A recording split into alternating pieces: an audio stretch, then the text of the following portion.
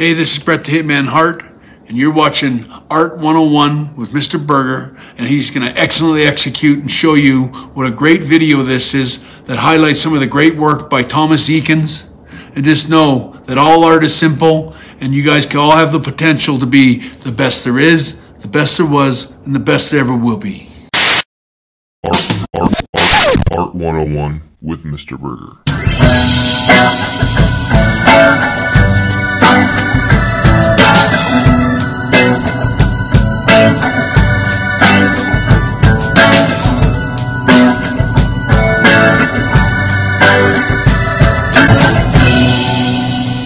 Thank you, Mr. Hart, for opening up for us today, and welcome back, scholars, to Art 101. As always, I'm Mr. Burgher, a professional artist and master educator, attempting to bring you the best in art historical content. If you like this video, if you like others in the series, please make sure you consider a like, a share, a subscribe. Any interactions with the video are greatly appreciated. Without question, you have my respect. Today, I'd like to talk a little bit about an American realist, Thomas Eakins. And Thomas Eakins was a huge sports fanatic, and his favorite sport was wrestling. So I think we've got to get a little bit deeper into the vibe so we can really discuss Thomas Eakins. So, that's right, now we can get to work talking about one of the greatest artists in American history, one of my absolute favorites, Thomas Eakins. American scholar Walt Whitman once said, I never knew but of one artist, that is Tom Eakins. Who could resist the temptation to see what they think ought to be rather than what is? Eakins is not a painter, he is a force. Thomas Eakins was a great American artist and teacher. Many consider him the greatest American realist of his generation. He was born in Philadelphia, Pennsylvania, and his father was an ornamental writer and educator. After high school, he was taking classes at the Pennsylvania Academy of Fine Arts, but was largely disappointed with his advancement in realistic rendering of people. Don't take a whole lot to get in there. I guess you have to be able to, the entrance exam, you have to be able to write your name in three different colors of crayon. So he began to take some anatomy classes at the Jefferson Medical College, and after some five years of doing this, he set off in search of artistic knowledge. He would go to Europe and study under French painter and sculptor Jean-Léon Ginomo, as well as French portrait painter Leon Bonnat.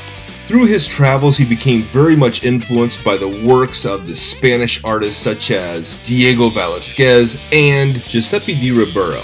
Now, Eakins' study at the Jefferson Medical College would become the subject of one of his most popular paintings.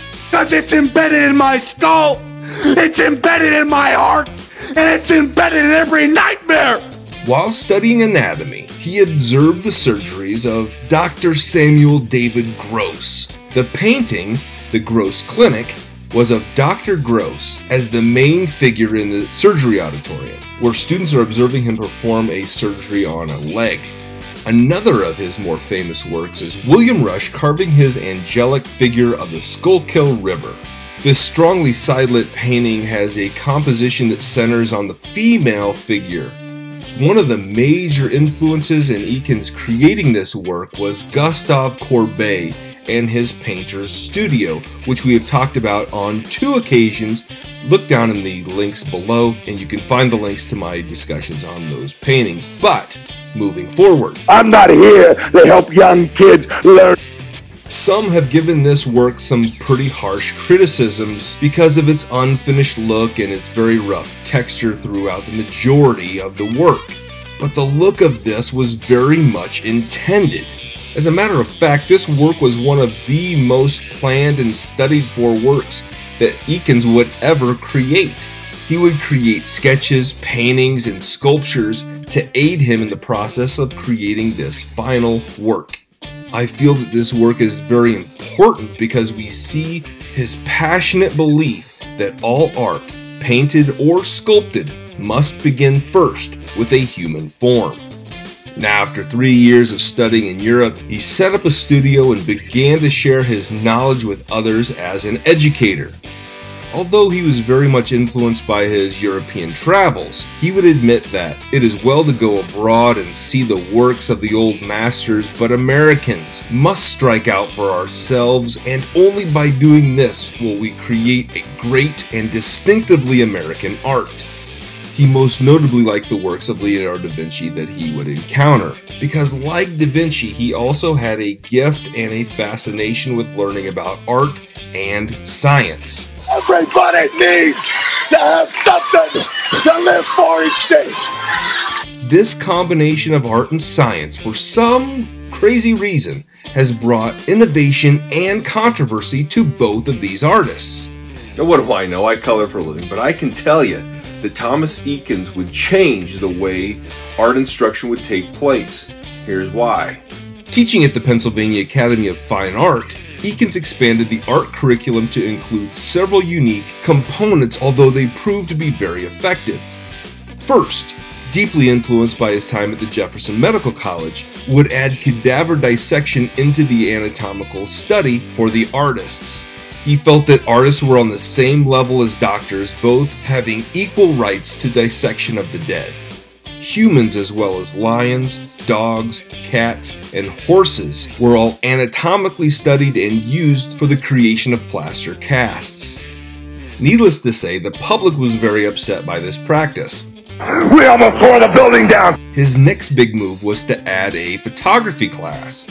This was helpful to students, but when he began taking nude photographs of the students as well as himself for the studies, the public was outraged. Could you imagine today an art teacher taking nude photographs of themselves as well as their students for the study of art? It would be the end of the road for that art teacher, I guarantee you. Anyway, I digress.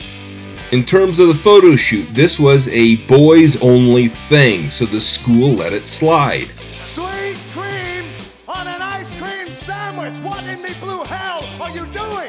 The most radical component that he added was allowing live nude models in the classroom. It was accepted until he began to use the male nude models in his classes that also had female students. Again, the public was beyond outraged at this. After teaching for 10 years, he was forced to resign. Although maybe outside of the realm of appropriate for the time, the processes were correct and the best way to learn to become a knowledgeable artist. It is fair to say that Eakins' ideas would reshape art education. Most of the male art students would quit and begin the Art Students League in Philadelphia, with Eakins as their unpaid instructor for the next seven years. Eakins' most celebrated student to emerge from this period of time was Henry O. Tanner, who was a phenomenal artist that I'm sure we'll talk about at another point.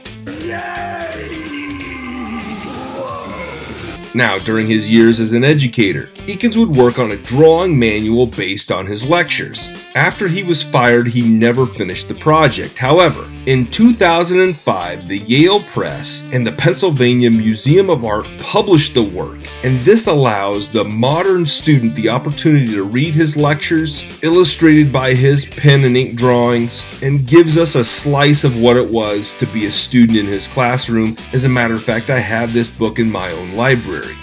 In the book, he covers the principles and the methods of three drawing systems linear perspective, mechanical drawing, and isometric drawing. Because of the issues that Eakins had with the public, he would spend his later years of his career in isolation from the public. The commissioned work was rare, and he was unable to make any real good money off of his skills. At the invitation of one of his doctor friends, he goes off to stay at the BT Ranch off the edge of the Badlands in the Little Missouri Territory, which is now North Dakota. Basically, he would go for a vacation and a little bit of relaxation. Now, he would stay for a relatively short time and then return back to Pennsylvania. But during this time, he would reflect on the fact that he was the most skilled artist around, but he was having a hard time showcasing that artwork.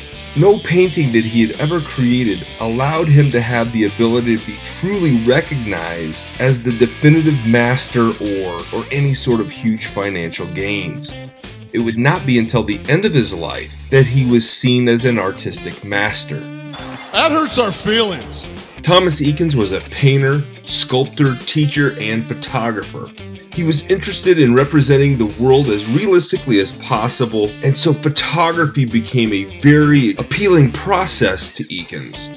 He was exploring the media as early as 1881 to improve the images in his paintings. He takes his camera with him to New Jersey to take some photographs that would be used as source material for some paintings, and this is the first example of the photograph replacing the sketch. The year of 1902 saw some major shifts in Eakins' work. He was elected to become an associate for the National Academy of Design and quickly became a full academician and had to offer work to present as a diploma painting. He chose to present The Wrestlers. Talking about history, talking about history. One of my favorites. In The Wrestlers, Eakins focuses on the American culture, human form, and portraiture that are all evident in his paintings. Some even believe that this is a symbolic self portrait. This idea was reached because Eakins often places symbols from the personally traumatic events in his life into his works. The painting is quite important to Eakins' history because it would be the last genre painting, the last male nude, and his last sporting painting. Let me leave you with this.